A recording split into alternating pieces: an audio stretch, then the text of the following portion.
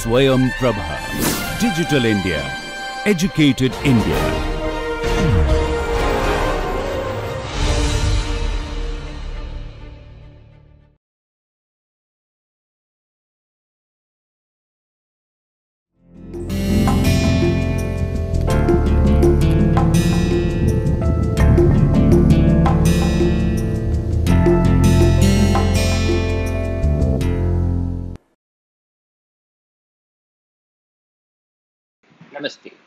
Today we begin a new module which is practical issues in economics and conservation. This module will have three lectures consumer choice, asymmetric information and behavioral economics, and valuation of natural resources. So let us begin with consumer choice. Now, some of you may have observed this mark on some of the products that you are purchasing. This is an eco mark, and this mark designates or certifies that the product that has this mark has been made with the least impact on the ecosystem. Which means that whenever you see this mark on a product, it means that it has been made in a sustainable manner without putting a very great amount of stress on the environment. Similarly, if you observe a mark such as this one, this is the mark of India Organic. So this is telling that the product that has this mark has been uh, made using organic techniques, organic agriculture, without the use of things such as pesticides. Now this is important because we have observed that pesticides are bioaccumulative toxins that also magnify when they move up the food chain. And so when you purchase something that is labeled as organic, it is not just good for your body, it is also good for the ecosystem. Similarly, we have marks such as these. This is the FSC mark of the Forest Stewardship Council. Now, when you have a label like this, it states that 100% products uh, are containing the material from FSC certified forests that meet the environmental and social standards of FSC. So 100% of the material that is having this mark of FSC and when it says 100% it means that the product is containing materials that are from FSC certified forests that are meeting environmental and social standards. So when we say that it is meeting an environmental standard, it means that it is being taken out in a sustainable manner. There is no excessive use of chemicals in, in such a forest. It has been being harvested in such a manner that the biodiversity is protected. And it also meets the social criteria, which means that the benefits are being shared with the community. It is not uh, taken from a forest that that is being worked through exploitation of labor. Similarly, if you have this FSC mark with mix, it states that it has products with material from FSC certified forest, recycled materials, or other controlled sources. So, here again, this label is certifying that the product that is being bought is uh, from a sustainably managed resource. So, it is good for the environment. We have FSC recycled label, products containing post consumer material and may include some amount of pre consumer material. We have labels like these. So, when we say that uh, we have this 100% label, it means that it is only from FSC certified forest. If you have a mixed label, then it is from FSC certified forest, FSC controlled wood, or reclaimed material, that is the recycled material. And when we say recycled, it is from reclaimed materials.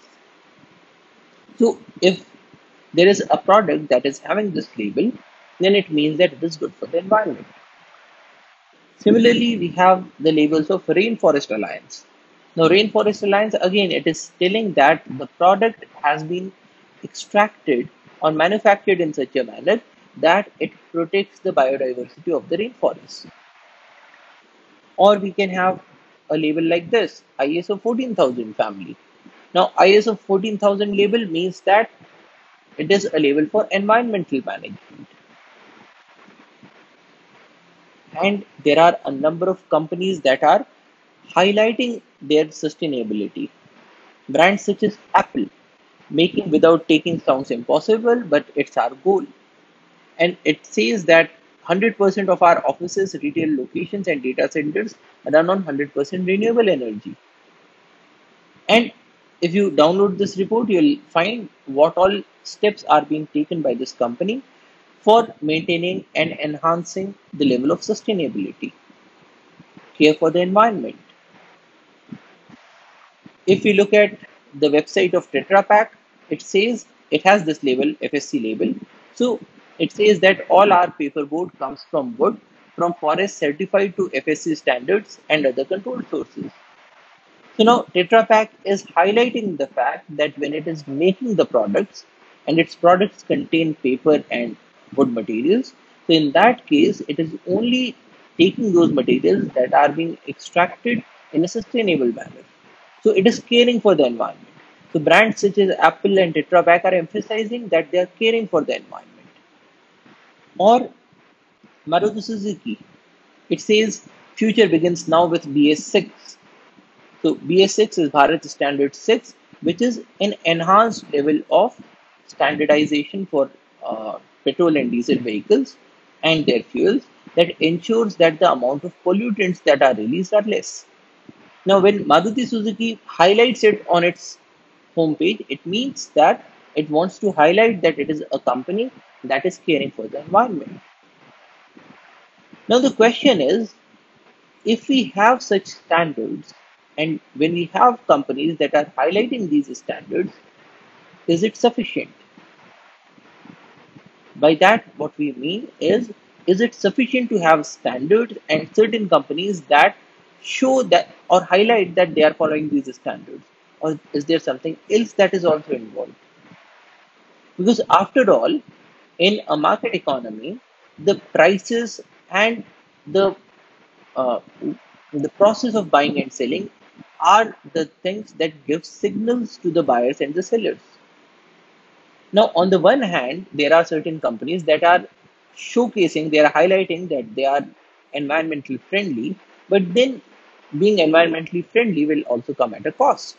Because if you say shift from a certified forest, so certification takes effort, certification takes cost, and also there are certain other sources of unsustainably managed forest from which the wood can be had much more cheaply. Precisely because they are not sustainably managed. They are not being managed for a long term perspective. But in the short term, they can prove cheaper. Now, similarly, when we talk about things such as BS6 compliance, we also have these news. Last chance to buy BS4 discounted cars Tata Nexon, Renault Kwid selling for 1 lakh less. Now, this is uh, an article that is telling people that okay, the world is shifting towards BS6, but then we still have stocks of BS4. And this is a golden opportunity for you to buy the BS4 cars because they are cheaper. And especially because of the more stringent norms after a while it will be impossible to sell the BS4 cars and so now these are available at a greater discount. Now mind you if somebody buys a BS4 car and is using that car so for the next say 5, 10, 15 years this is one vehicle that will be giving out pollution at a level that is greater than that of the BS6 standard. Now as a consumer how do you decide whether you should go for a BS4 car or a BS6 car? Because overall, if we have the standards and if we have the companies that are highlighting that yes, they are caring for the environment, but when there are certain other companies that probably are not following uh, the higher standards, and if people flock to those companies, or even in the case of those companies that are following the standards, if there are unsold stocks and people only want to go for those unsold stocks. So in that case, will it be possible for the companies to have the stricter norms, to follow the stricter norms? Or is the market telling a very different picture? Similarly, this article, BS4 Hyundai cars discounts of up to rupees 2.5 lakhs on Santro and so many other models. So the question for the consumer is whether he or she should go for cost or sustainability. And this is a very important question when we talk about conservation. Because if we want to go for conservation, if we want to manage things in such a manner that we are able to extract the resources for a very long period of time, sustainability just means that we will not just use the, the resource right now, but we will use it in such a manner that we can extract the resource for many years to come, or probably many generations to come. So ultimately, if somebody is going for a sustainably produced material, then they are doing something that is best in the long term interest. But then, if the unsustainably managed product is available at a lower cost, how does the consumer react? Because if the consumer reacts in a manner that would say that no, we only care about the cost, we do not care about the sustainability. In that case, probably sustainability will be a lost cause which is why it is important to understand how consumers make decisions. Or how does consumer choice work? Now, a consumer is always acting in a budget constraint.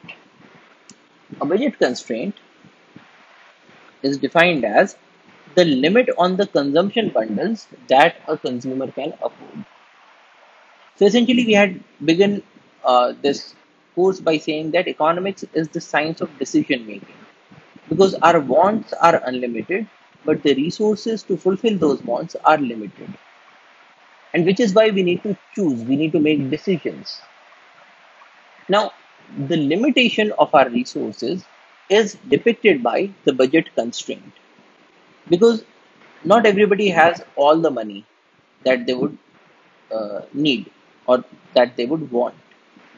So there is a limitation on the budget of every person.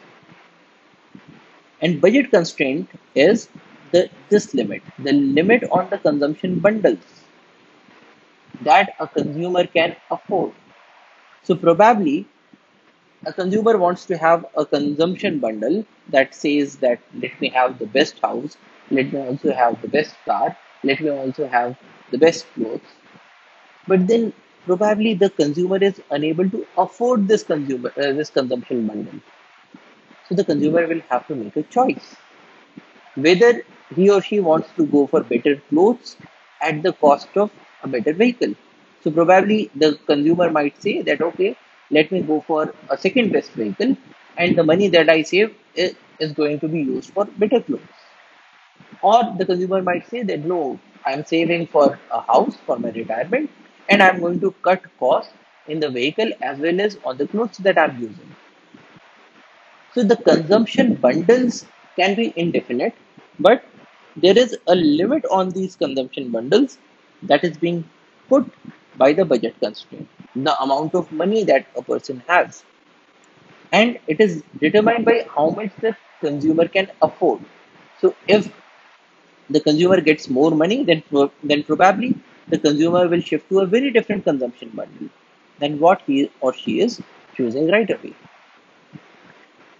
So, when we talk about budget constraint, let us look at an example. Let us say that a person has a budget constraint of 100 rupees. It means that this person only has 100 rupees available with them. And there are two items in the market. We have samosas and we have lassi. Now, samosa is available at 5 rupees per samosa and lassi is available at 10 rupees per glass. Now, suppose the consumer buys 20 samosas. Now, in that case, the consumer has already spent 100 rupees on samosas. So, this is spending on samosa. So, 20 into 5 is 100 rupees. And if the consumer has spent 100 rupees on samosas, he or she will have 0 rupees left for lassi. Because the total spending can only be 100 rupees. It cannot exceed 100 rupees. Now, if the consumer wants to have one glass of lassi, so this glass of lassi will cost him 10 rupees. And if it is costing him 10 rupees, then it means that 90 rupees are available to purchase samosas. And in 90 rupees, this person can get 18 samosas. So this is another consumption bundle. So the first consumption bundle was 20 and 0. That is the consu- that is the consumer could have 20 samosas and 0 lassi. Another consumption bundle is 18 and 1. So he or she can have 18 samosas and 10 lassis. Or we can have another consumption bundle which is 16 and 2. And so on till we reach to this point of 0 and 10. Now at this point, the consumer is spending uh, money on 10 glasses of lassi, which is 10 into 10 is 100 rupees is being spent on lassis, 0 rupees is being spent on samosas, and so uh, the consumer is getting 0 samosas. Now, these are all different consumption bundles that are available to the consumer. There can also be a number of other consumption bundles. So, such as in this case, the consumer can get 10 of samosas and 5 of lassis, but the consumer can also say that no, I do not want so many, so I will only have say 5 samosas and 2 lassis. Now, this can also be a consumption bundle but then this is a consumption bundle that is less than the budget constraint. Here the budget constraint is 100 rupees. And if the consumer is only buying 5 samosas, so that is 25 rupees, and 2 lassi is 20 rupees. So in this case, the consumer is only spending 25 and 20 rupees. So the consumer is spending only 45 rupees. whereas the consumer could have spent 100 rupees. So we can have any number of consumption bundles. There are some consumption bundles that are within the budget constraint, and there are certain others that are outside of the budget constraint. So probably the consumer might say that no, I do not want 5 and 2. I probably want say 50 and 20. Now, for 50 samosas, the cost will be 250 rupees. And for 20 lassis, the cost will be 200 rupees. So in this case, the consumer would want to have an amount of 450 rupees. But this much amount is not available with the consumer. The consumer only has 100 rupees. So if we plot these uh, these consumption uh, bundles, we will find that here on the y-axis it is the number of lassis, on the x-axis we have the number of samosas, and there are a number of points that are right there on the budget constraint. Things like 10 lassi and 0 samosas, or things like 20 samosas with 0 lassi. But you also have certain points that are here, and these points represent those consumption bundles that the consumer may have but when the consumer has those consumption bundles then he or she will be saving some amount of money that is they are not using the money to the fullest at the same time there are certain points that are here which represent those consumption bundles that the consumer cannot afford because they are outside the budget constraint so they will require a sum of money that is greater than the budget that they have currently. So this is the concept of budget constraint. Now the next question is, when we have this budget constraint, what determines whether the consumer will go for this point or this point or say uh, this point inside of course, the consumer cannot have a point outside, so this is not permitted. But the points that are inside are permitted and the points on the line are permitted.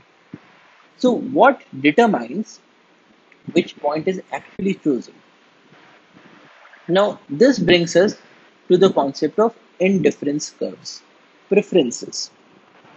Indifference curve is a curve that shows consumption bundles that give the consumer the same level of satisfaction.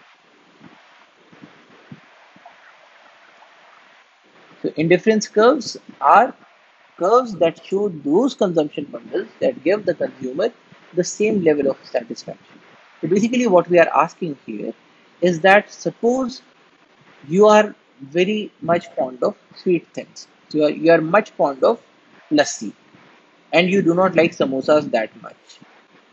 Now, suppose you were given the option of having, say, five lassis, and then you are given another option. So, what we are asking here is that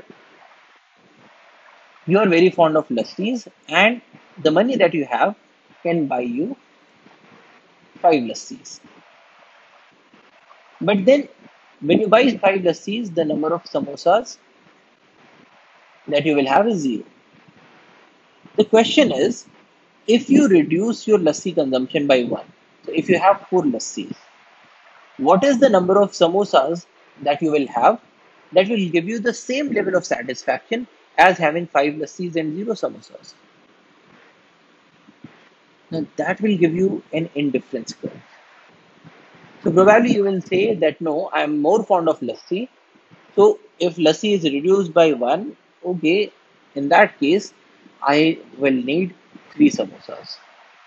So if I have these three samosas, then and four lassis, then that will give me the same level of satisfaction as five lassis and zero samosas.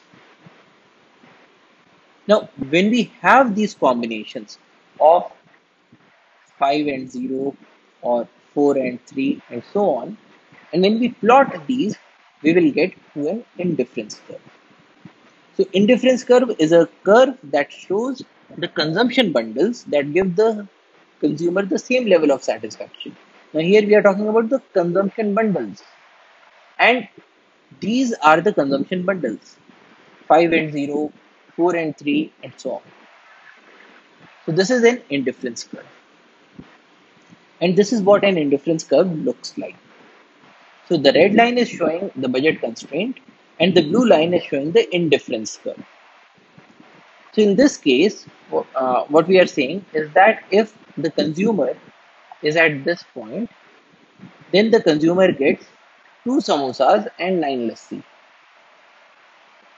And at this point, the consumer gets seven samosas and three lassis.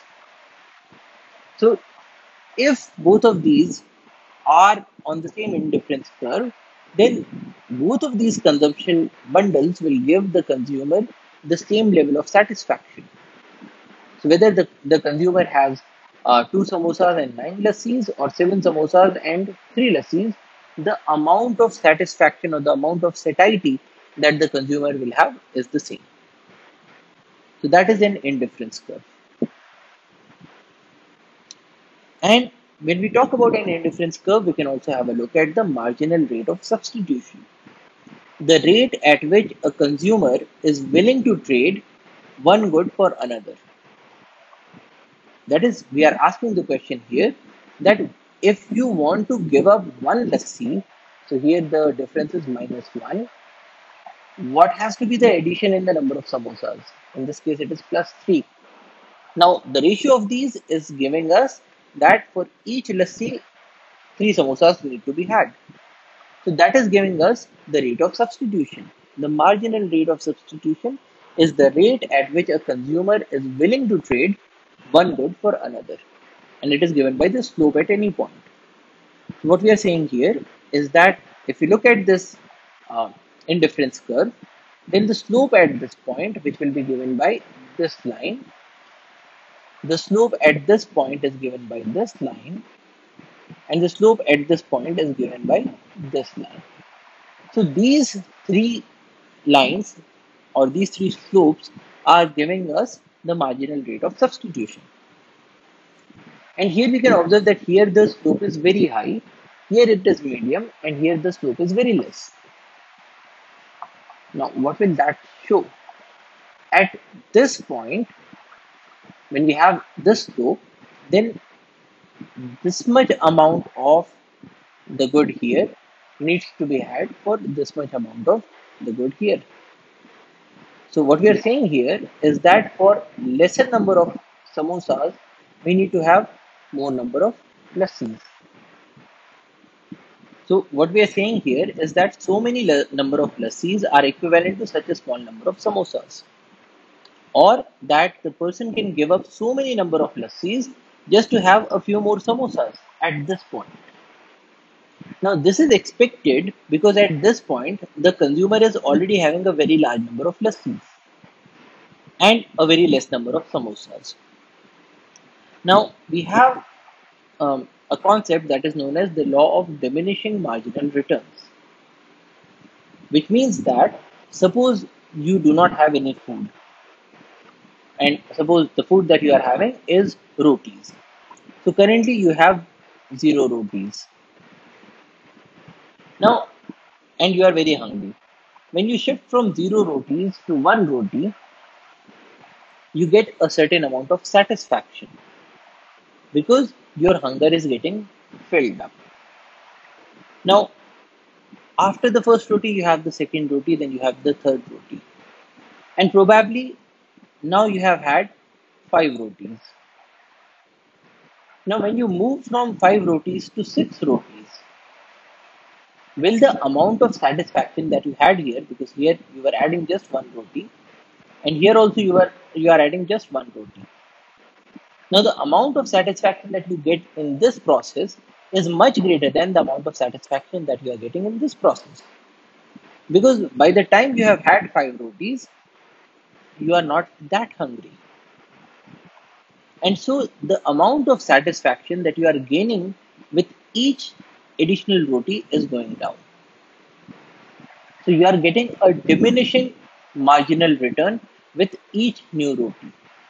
And probably after a while, you will have a negative marginal return, which means that you are now so full that when you are given one more roti, then you just hate to eat.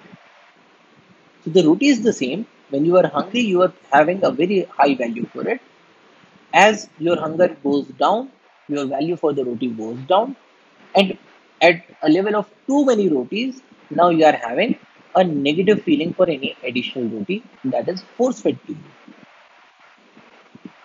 So this is exactly what we are observing at this point.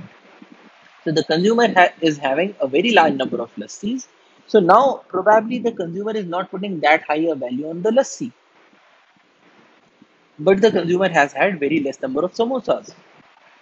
So the amount of satisfaction that the consumer will have with each additional unit of samosa will probably be much greater than the amount of satisfaction that they will have with each additional unit of lassi. And which is why the consumer at this stage to get a very small number of samosas can give up a large number of lassi, which is what we are seeing in the case of this slope as well. So this is the marginal rate of substitution. When we have reached at this point, then the consumer has had so many samosas that now the consumer is ready to give up so many samosas just to have a few units of lassi. So this will give a slope like like this. A very low slope. And in at a point in between, the consumer has had a middle number of samosas and an average number of lassis and so the consumer is practically ambivalent for whether uh, he or she gets an additional samosa or an additional lassi so this is the marginal rate of substitution which is given by the slope of the indifference curve now indifference curves have certain specific properties one a higher indifference curve is preferred to a lower one since the consumer prefers to consume more of both the products. Now, this is an assumption that we are making for a large number of cases. This assumption is also true. So, what we are saying is that if there are two indifference curves, the one that is higher, so in this case, this curve is preferred over this curve. So, the consumer will also always want to have this higher curve and not the lower curve because at the higher curve the consumer is having more of both the things. Indifference curves are downward sloping since if one good is consumed less, the other should be consumed more for the same level of satisfaction. So what we are saying here is that remember that in the case of an indifference curve, we are looking at the points that give the same level of satisfaction. Now, for the same level of satisfaction, if one good is reduced, then the quantity of the second good should be increased. Now, when you have this situation that when, when, one reduces, the other increases, you will have a downward sloping curve. Another property is that indifference curves do not cross, since it would create a situation where more of both goods gives the same level of satisfaction as less of both goods, which cannot be there. What we are saying here is that if there are two indifference curves, and if these curves were able to cut each other, intersect at each uh, intersect each other at this point, so what would that mean? A and B are on the same indifference curve. So basically, A and B have the same level of satisfaction. A and B give the same satisfaction. B, B and C are on the same indifference curve, this curve. So they also give the same satisfaction. Now, if A and B give the same satisfaction, B and C give the same satisfaction, then it would mean that A and C give the same satisfaction. But now, if you look at point A and C, then in, the case of C, we have more of good 2 and we also have more of good 1. Which means that the point C, where good 1 is more and good 2 is also more, is giving the same level of satisfaction as point A. Now, we began with the assumption that the consumer is getting a satisfaction from the consumption of these goods. So more the amount of goods that is consumed, more should be the satisfaction. But in this case, we are observing that more of having both the goods is giving the same level of satisfaction as less of both the goods, which cannot be true. Which means that these curves should not be able to intersect each other. So indifference curves do not cross. Another property is that the indifference curves are bowed inwards since consumers have more willingness to give up a good that they already have a lot of. Which is what we saw here that at this point, when the consumer has a large number of lassis, then the consumer is ready to give up large quantities of lassis to have a few quantities of samosas. Whereas at this point, the consumer is ready to give up a large number of samosas to have a small amount of lassi. Now, when we have such a situation, that you have a higher sloping um, MRS here, a lower sloping MRS here, and a, a middle level of MRS here, then this in total will give a curve that is bent inwards, that is towards the origin. So the indifference curves are always having this shape, they are bent inwards. And in this context, we can talk about two specific indifference curves. One uh, is the uh, indifference curve for perfect substitutes. Two goods with straight line indifference curves. Now, substitutes are defined as goods with the same indifference curve. A very good example is whether you have money in the form of rupees or coins.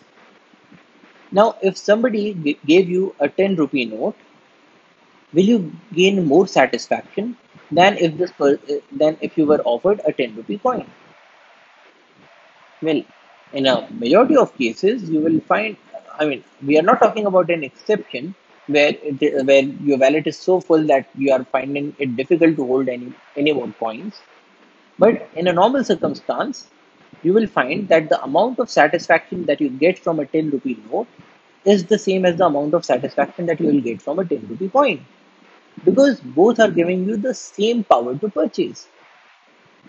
Similarly, a 5 rupee note or a 5 rupee coin will mean the same.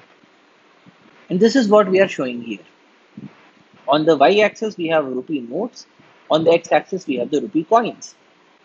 10 versus 10. So it's a straight line. So any combination, so if you reduce the coins by a value of 1, you should increase the note by the value of 1. So these are perfect substitutes. They will have straight line indifference curves. Another specific indifference curve is perfect complements. And complements are defined as goods with right angled indifference curves. A good example is shoes. Now on the y-axis here we have the right shoe, on the x-axis we have the left shoe. Now if you were given this combination of this point 5 and 5, so you are having 5 left shoes and 5 right shoes. So essentially you are having 5 pairs of shoes. Now suppose you in place of this you were given this combination. So here you are having 6 left shoes and 5 right shoes. So in this case what is happening is that here also you are having 5 pairs of shoes and an extra left shoe. Now here as well you get 5 pairs of shoes and an extra left shoe. So the amount of satisfaction that you get will be the same as the amount of satisfaction when you are having the five pair of shoes because you do not have an extra utility for an extra left shoe. Similarly, if you had seven left shoes and five right shoes, here also the number of working pairs is only five, and you have an, an extra two uh, left shoes which you do not have a use for. So whether you get this combination 5 and 5 or this combination or this combination, it is one and the same. You get the same level of satisfaction because you only have 5 pairs of shoes in each case. Similarly, if you look at this point, you have 5 uh, left shoes and 6 right shoes. Here again you have 5 pairs of shoes and an extra right shoe. At this point, you have five pairs of shoes and two extra right shoes. Now, these three points, they provide the same level of satisfaction because in, in all these three points, the number of working pairs of shoes is only five. And similarly, all these give the same level of satisfaction. So combining both of these, this line, uh, these two straight lines at 90 degrees, they give the indifference curve for perfect complements. So perfect complements means that you cannot substitute one for the other, but you need both of them together. In the case of substitutes, you can replace one with another, but in the case of complements, you need both of them for working. Things such as nuts and bolts. The number of nuts is should be equal to the number of bolts. So these are the indifference curves for perfect complements. Now, once we have the indifference curves and the budget constraint, we can now start to talk about the consumer's optimum. So, of all the points that are there on the budget constraint, and of all the points that are there on an indifference curve, which is the point that the consumer actually suggests, uh, actually opts for. So, the consumer's optimum is given by the point on the budget constraint that lies on the highest indifference curve. It is the point on the budget constraint. So this red line is the budget constraint. So the consumer's optimum is a point on this line. It is not a point above or below this line. And this point should be the one that lies on the highest indifference curve because we have seen before that a higher indifference curve is preferred to a lower indifference curve because people want to have more consumption. So in this case, the higher indifference curve is preferred and the point on the budget constraint line that is on the highest indifference curve gives the consumer's optimum. So this is the point that the consumer would choose if he or she were doing a rational thinking because this is the point that gives the maximum amount of satisfaction given the budget constraint. Because what is happening here is that for points above the budget constraint, so any point on this indifference curve, it is not selected because the consumer does not have sufficient budget. And if the consumer uh, selected some point on this curve, then she is left with certain amount of money which could be spent on having more of both the goods which would mean that the consumer would move towards these indifference curves. So for every curve that is to the left of the indifference line, the consumer tries to move towards the right. But for an indifference curve that is away from the budget constraint line, then this becomes an impossible combination given the budget constraint. So the optimal point is given by the point on the highest indifference curve that is touching the budget constraint.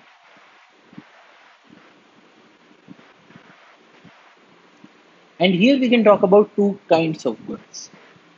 One is known as a normal good. A normal good is one for which an increase in income increases the quantity demanded. Things such as pizza.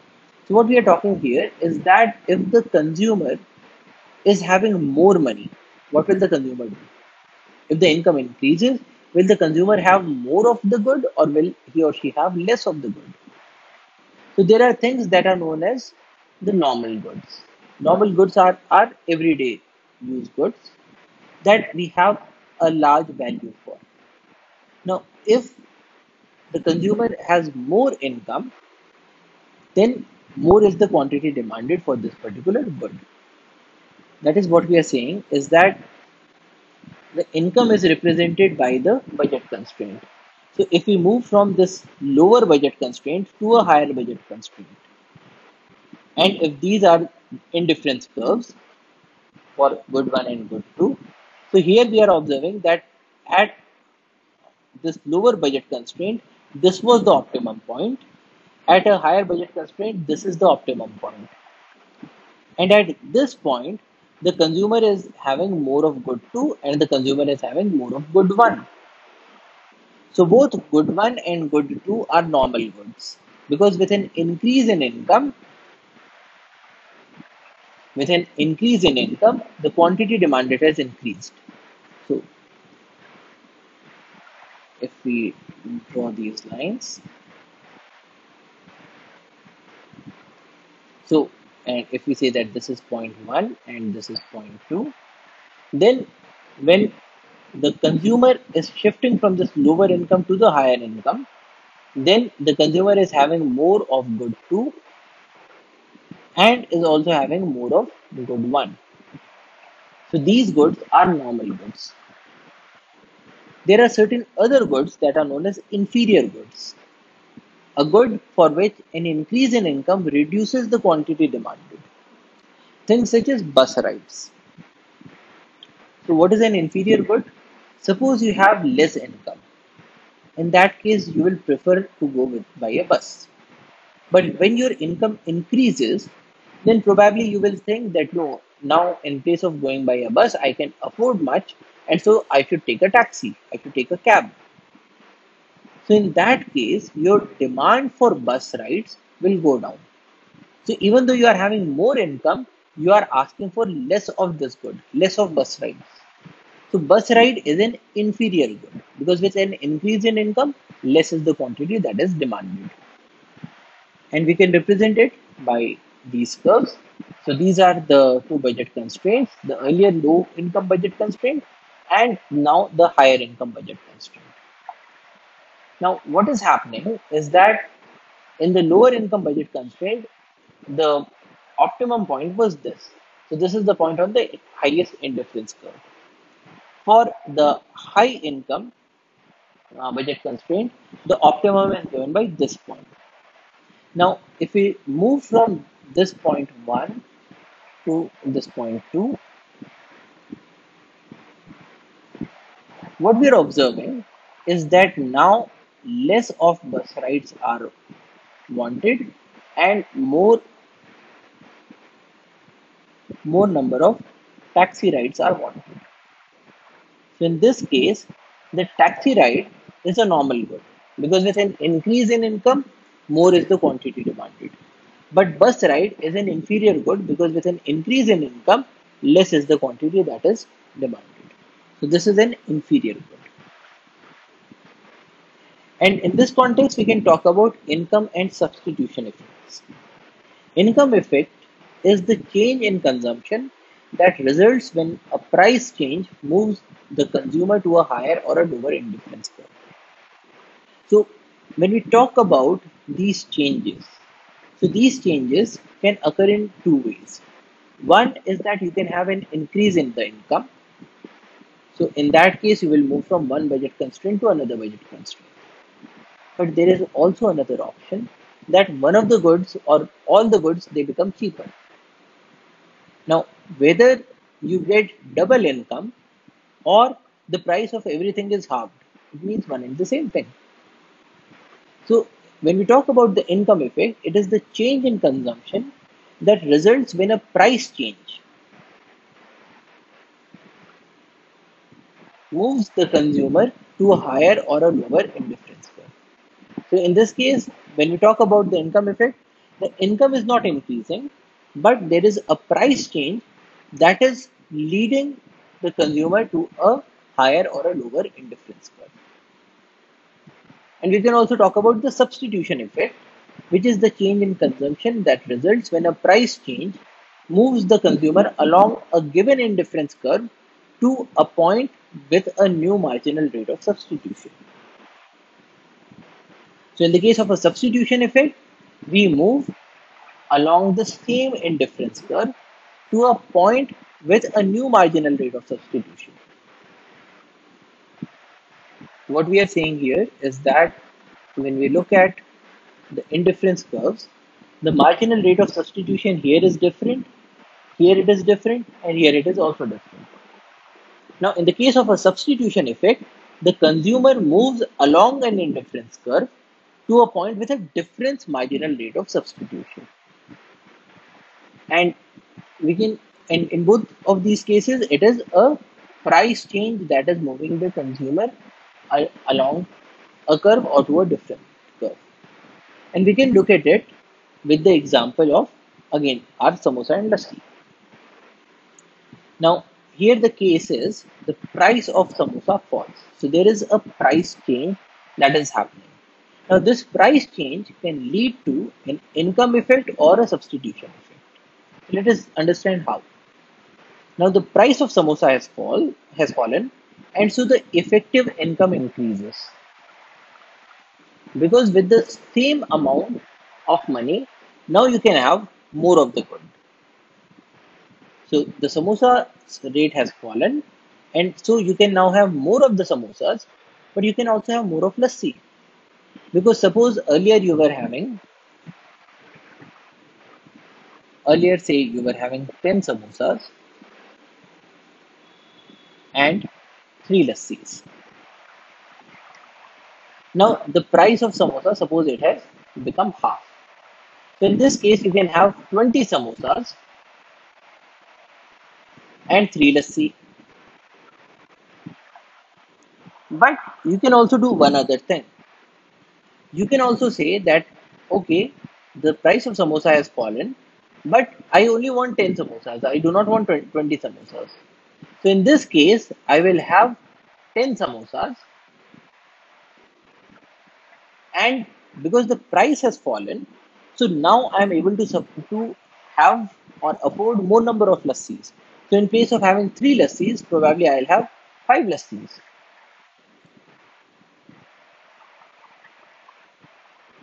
Now, this is the impact that we are studying. That if the price of one good has fallen, then the effective income has increased because the same income, yet the income has not changed, but with the same income, now you can have more of the samosas or you can have more of the lassis. Or you can have some other combination. Let us say that you can also have 15 samosas and 4 lassis. So with the same income, now your effective income has gone up. So you can have more of good one, or you can have more of good two, or you can have more of both the goods. That is an income effect.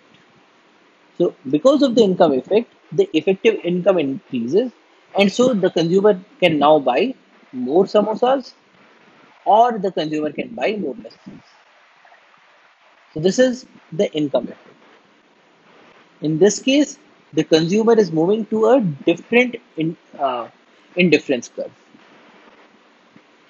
In the case of a substitution effect, your thought process goes like this.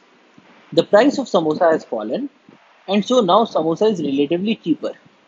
So let me have more of samosas, which is what we are showing here that because the price of samosas has fallen, so let me have more of the samosas. So let me have 20 samosas. So that is a substitution effect. Or your thought process can be that now lassi is relatively expensive and so I should have less amount of lassi because here we are talking about samosa and lassi. So if the price of samosa has fallen, so effectively it means that now the lassi is more expensive as compared to the samosas. So earlier, if say the samosa was 5 rupees and lassi was 10 rupees. So in this case, lassi was equivalent to 2 samosas. But now what has happened is that the price of samosa has fallen. So now samosa is available for 2.5 rupees. But lassi is available for 10 rupees as before. So now lassi is worth 4 samosas. Now, if your currency was that of samosas, so you will say that okay, now the lassi has become more expensive because in place of paying two samosas for a lassi, now I have to pay four samosas. Now, if lassi has become more expensive, what will be your uh, action? Probably you will want to consume less of lassi because it has become more expensive. And this is what we are showing here. Lassi is relatively expensive and so the consumer now buys less lassi. Whereas in the case of substitute uh, in, in the substitution effect, the samosa has become relatively cheaper and so the consumer buys more samosas. Now, what is the net result? The income effect says that more samosas should be bought, substitution effect says more samosas should be bought, and so more samosas will probably be bought. But in the case of lassi, the income effect permits the consumer to have more lassi. The substitution effect says that the consumer should have less lassi, and so here the result will probably be ambiguous. So the lassi bought may be more or less than normal. So this is income and substitution effect. So because your one good has become cheaper, and so now you have shifted from this budget constraint to this budget constraint. So now you can have a situation where more or less of the good can be had. And with this, we can talk about the law of demand. Reduction in price increases the quantity demanded. So this is what we had seen here.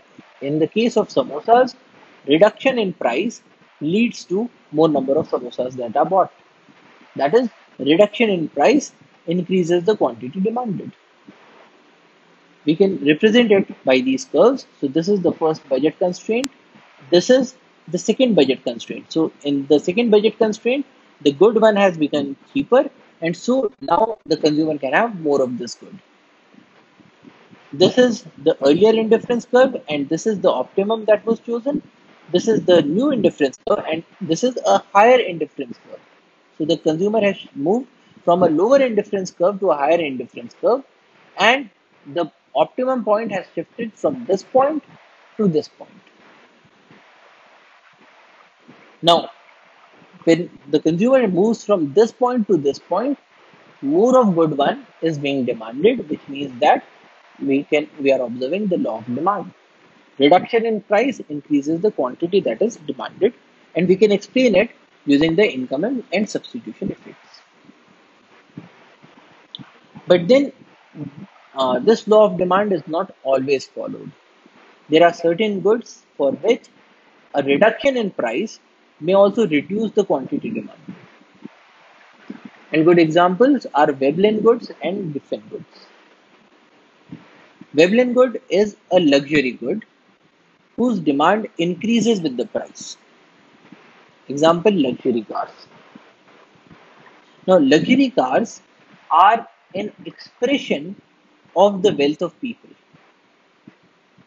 So people want to have a luxury car to show off that they have a very huge amount of wealth. Now, what will happen if the price of a luxury car goes down? When the price of a luxury car goes down, then it is no longer an expression of the wealth of the people. So when it is no longer an expression of the wealth, then people would want to have less number of those luxury cars whose prices have fallen. Because they were buying a luxury car primarily because it was costing high. So that everybody came to know that okay, this person is having this expensive car, and so this person must be having a great amount of money. But if the price has gone down, then it is not serving that purpose. So these are Veblen goods, luxury goods whose demand increases with price. Or when the price reduces, the demand also reduces. Another category is Giffen goods. So Veblen goods are luxury goods, Giffen goods are inferior goods whose demand increases with the price. Example potatoes. What we are saying here is that Suppose we are looking at two items, potato and meat. Now, potato is a relatively cheaper item, but potato also forms the bulk of food requirements of people. Meat is more expensive, meat is a source of protein, but a person needs to have a certain amount of food to survive. So, meat can be considered to be a luxury, but potato or a starchy food in this case is a necessity. Now what happens when the price of potato increases? Now in this case, we are showing an increase in price. So the earlier budget curve, the earlier budget constraint curve was this, the blue one. Now the price has increased and so less number of potatoes can be had for the same income. So Earlier, the person was able to buy these many potatoes, but now the price has increased, and so the person can only buy these many potatoes. So this is showing a increase in price of the potatoes. So now less number of potatoes can be had. Now earlier this indifference curve was chosen and this was the optimum point. Now this indifference curve is being chosen and this is the optimum. Now what is happening here is that with an increase in price, the effective income of people is going down. With a fall in effective income, and because everybody needs to satisfy their hunger, they will want to have more of the cheaper goods. And in this case, the cheaper good between potato and meat is potato. So with lesser effective income, people will want to have the cheaper good to satisfy their hunger and so now people will demand more of the potatoes, which is what we are observing here. Earlier, this much quantity of, of potatoes was being demanded. So the earlier demand was this, the new demand is this. So there is an increase in the demand of potatoes. So this is a Giffen good. So the salient points in consumer choice is that it is the branch of microeconomics that analyzes how consumers maximize the desirability of their consumption. And people are trying to maximize the desirability. And this desirability is represented by the indifference curves, and the consumption is limited by the budget constraint. So, what does that tell us? One is that because people want to maximize the desirability of consumption, if we can make environmental friendly options as more desirable, probably through education or awareness or advertisement, then we can shift people towards those options. So we need to make the environmentally friendly options as more desirable. But when we do that, then we have to ensure that even those environmentally friendly options are within the budget constraints. Because the consumption is always limited by the budget constraint and so if the cost increases too much then probably the consumers will not go for the environmentally friendly option. So these are two things that need to be kept in mind. And when we talk about the consumer choice, we were making several assumptions. One is that of rational behavior. The consumers are seeking to maximize their utility. Preferences are complete. Consumers fully understand his or her preferences, permitting unambiguous decision. Preferences are reflexive. That is, if good A and B are identical, then the consumer will be indifferent with regards to A or B. They are transitive. It means that if A is preferred over B, B is preferred over C, then A must be preferred over C. Preferences exhibit non-satiation, which means that more is always better. Now, this is not true in a number of cases, as we have observed that when you are already full, then if you are given an extra roti to consume, then probably that is not better for you. Indifference curves exhibit diminishing marginal rates of substitution, resulting in the bow in the indifference curves, and that goods are available in all quantities, including parts. So these curves, because they are continuous curves, so they can show even parts of things. So this is 10.5 apples. So these are all different things, but an important thing is that the first thing is that people exhibit a rational behavior. So this is a rational model to explain the consumer choice. But then the thing is, humans are not always rational, which will bring us to the concept of behavioral economics that we will analyze in the next lecture. So that's all for today. Thank you for your attention. Jai.